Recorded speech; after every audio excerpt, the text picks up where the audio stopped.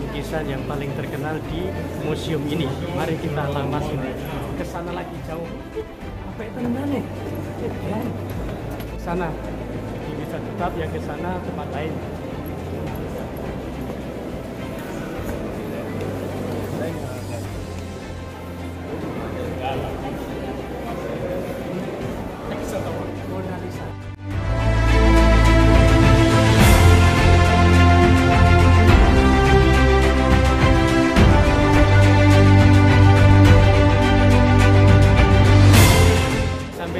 Tempatnya Mona Lisa tetapi kita melihat itu eh, apa namanya itu lainnya byway-nya itu antriannya itu panjang sekali lebih panjang daripada kita mau membeli tiket masuk ke eh, museum ini sendiri.